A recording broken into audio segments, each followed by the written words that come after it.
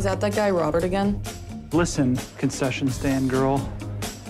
Why don't you give me your number? Wait, you never said where he goes to school. I think he just works. Oysters, come on. He has cats. His eyes are nice. They crinkle. Yeah, because he's old. I think I really like him. As promised. I'm not saying I will have sex with him, but I think he would like it. Why are we having this conversation? He's a terrible kisser.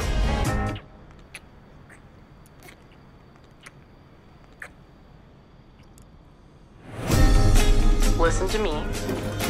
Call it a night. Hey, do we want to do this?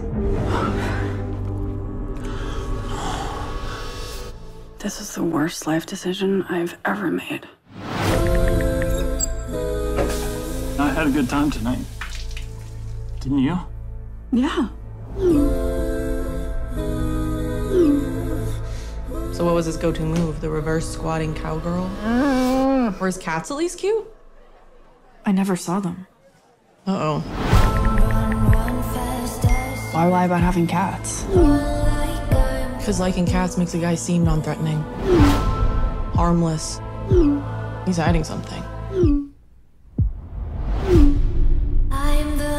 Monster in your mind. I need to keep someone away from me. You scared me. People choose to be scared.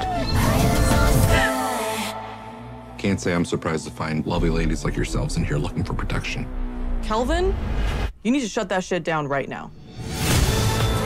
What is the matter with you? You manipulated me. So he called you a whore. If you want to get along with a man and not be alone your whole entire life, make peace. With a little discomfort. One of us has to die.